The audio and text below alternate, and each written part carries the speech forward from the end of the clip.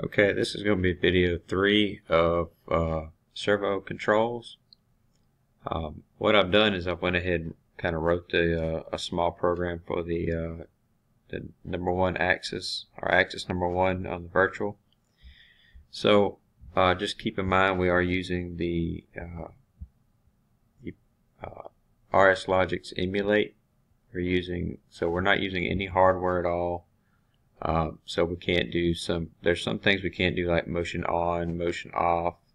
Uh, we can do uh, action status and stuff like that.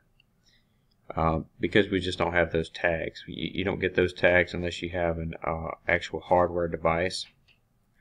But uh, we are using version 20 uh, and to kind of go over a few things, you know, we put our program in, in uh, enable time synchronization.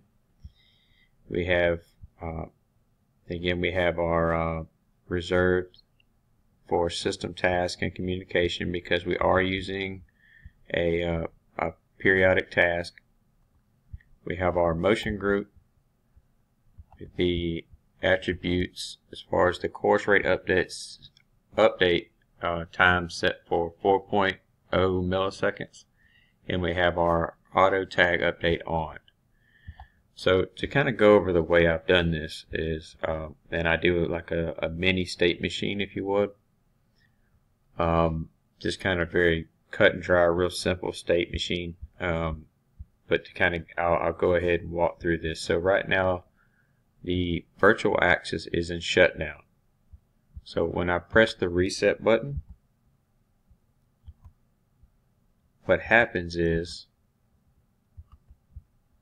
the reset, the motion axis shutdown reset uh, actuated because it was in a shutdown state. Had it had been in an axis fault, then it would have went and did an axis fault reset.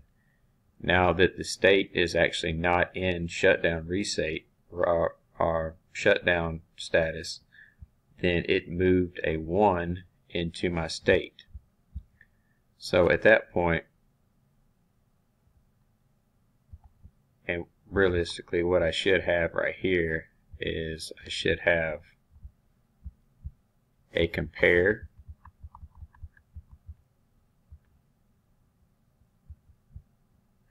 So I should have a compare right here saying that if state 0 is equal to state 1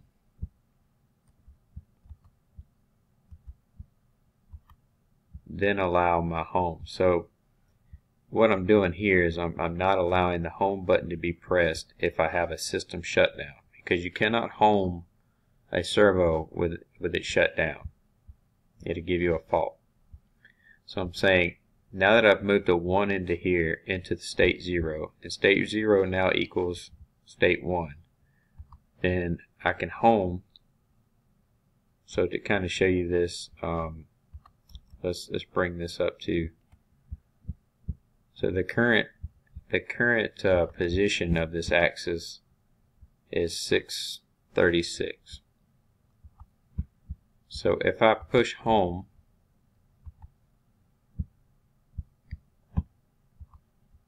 now the current position is 100 now if you recall in the last video we set our, our axis 1 home to 100 so if you look at the properties, we set the homing feature to a position of 100. So it homed to 100. It did that and it moved to the next state. So it, it pushed into uh, state 3.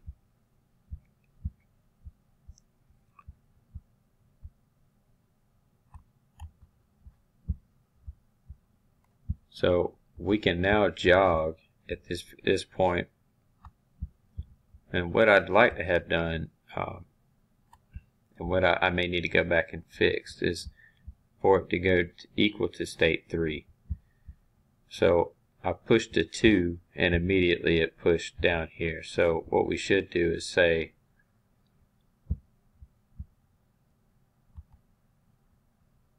we should actually have this in front of this. So let's push this again and come back and say shut down. So we shut down our axis and we're starting over. Right? So we hit our reset button. The axis state went to 1. We now are home again. State went to 2 now I want to move to position. Now I do not want to transition to state 3 until I've moved to a position of 500. Now we are at 100 right now, so I'll toggle this and we'll go back and monitor the uh, the tag and you see it's it's actually running So with it running, and I'll show you this too, because this PC, right now the in process bit is on. And until the actual position hits 500, it will not transition to the process complete bit. Process complete bit will then actuate it down from uh, state 3 or state 2 to state 3 just like it did. So it, it moved to position of 500 the pro it went from in process to process complete, the instruction did, and now it went to where I can jog it. Now at this point, I can initiate a jog, and it does a state 4, which does not do anything until I release the jog button. So being that these are bits I'm toggling, I'm going to untoggle the move to position. And what we'll do is, again, we'll go back and look at the state. We'll, look at the uh, axis and see what it's doing. So we know the axis is jogging. Right? We know it, the speed of the axis is set right here at 10, 10 units per second. And then we're, we're actually running the axis. Now, with that said, if like if I stop, if I let go of the jog button, then it will stop. So the axis stopped right here. And it goes back to state 3 saying, okay, I can still jog if I would like to. So I start the jog back and it's still jogging. So at that point, I come down and stop it again.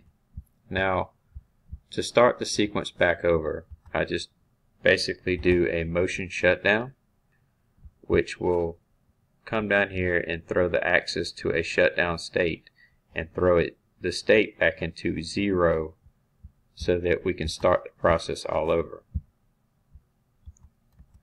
So you've seen that, you've seen the instruction happen, and you've seen the, the shutdown state our status go high. So at this point, to kind of go over the way I had this programmed, uh, this being a, a virtual axis, I cannot do a motion axis on or a motion axis off. Now, standardly, what you would do is you would have your motion shutdown reset along with your motion fault reset. And if if all those are fine, then you would come down here and first off you would do a motion axis off, then you would do a motion axis on directly after that. You want to make sure you cut the servo off before you cut it on. And I know that doesn't make sense, but say for instance the servo was on, it was told, told to come on from a motion axis direct command like like we've done here before. Say somebody has come in here and done that, or or it was latched in, or or some for some some other means of the program cut it on to actually go to a motion axis on. You want to make sure you you the you first issue a motion axis off before you do anything else. Then you do a motion axis on, and then you can come in and do a, a moved position. You can do a jog, um, so in this description, what I have done, uh, being that I don't have any physical hardware, so I do, do not have the ability to do a motion axis on or motion axis off.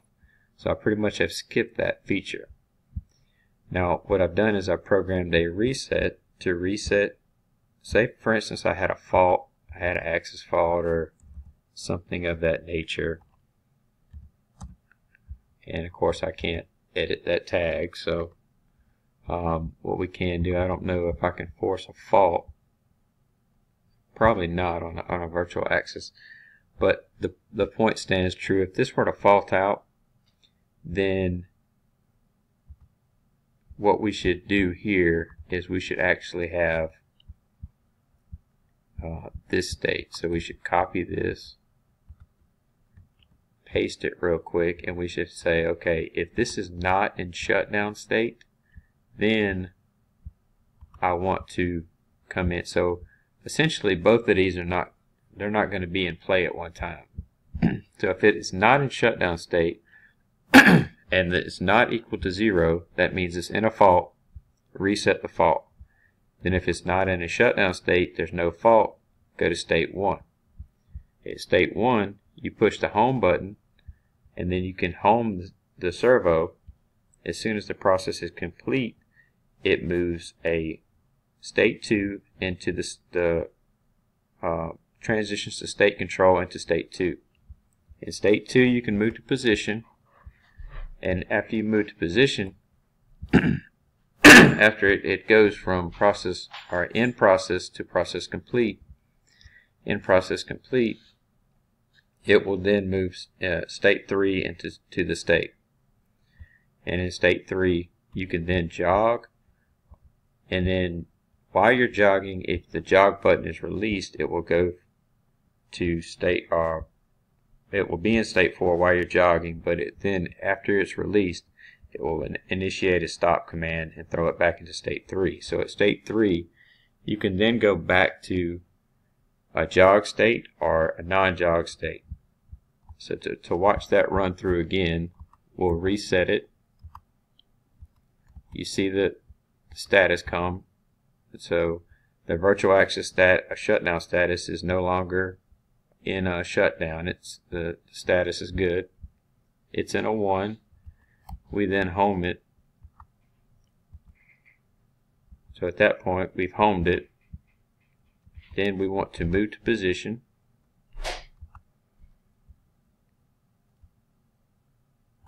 Now it's moving to position like we've shown in the in the axis properties it's moving to the, the 500 that we're commanding it to right now. So as soon as, and so the in process bit is high. So it will not transition states until it hits the, the position of 500. When it hits the position of 500, then it will the process complete bit will come high and it will move to state 3. And we'll see that right now. Okay, so at this point, being it's a bit untoggling, I'll untoggle it. I can jog it. So now I can initiate a jog, and that's an in process bit. So I want to transition my states on the in process bit to say, okay, if if equal to 4, then when a stop is pressed, or not a stop, but when the jog is released, so if I'm pushing the jog button, if I release the jog button, it immediately stops. And when it stops, it goes back to a jog state. So it goes, uh, it transitions the state to a state 3, which allows you to continue jogging if you wanted it to. So this just basically describes a simple state machine, how it's done, uh, how functional controls are done, and how basically we, we do a state machine or, or how we do uh, motion axis you know, controls. And I just wanted to show this, you know, real quick. So this is video three, um, using a, a virtual axis So again, I hope you, uh, hope this answers some questions that you have. And uh, we'll continue this on video four and possibly go into video five. Okay. Thank you for your time and leave me your comments and uh, subscribe. I appreciate it if you subscribe. Thank you.